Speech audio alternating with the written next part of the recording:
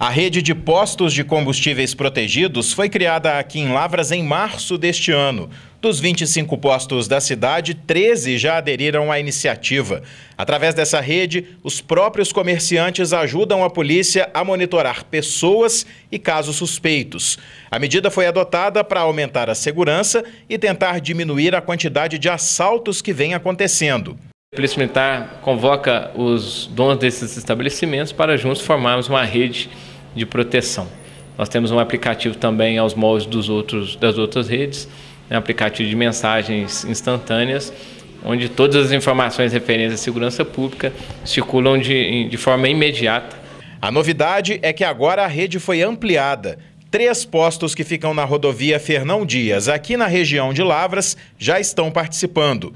Eles foram identificados com essa placa. Pela rede, a troca de informações já tem ajudado a polícia no combate ao crime e a comunidade a ficar mais tranquila.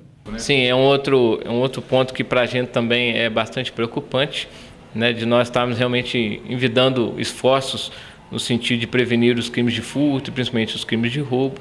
Então, nós lá estivemos na semana passada é, intensificando o policiamento e fazendo contato com esses proprietários a fim de buscar né, os seus apoios para essa rede e nós conseguimos aí três postos que aderiram de forma instantânea também à rede. Lavras.tv, a sua TV na internet.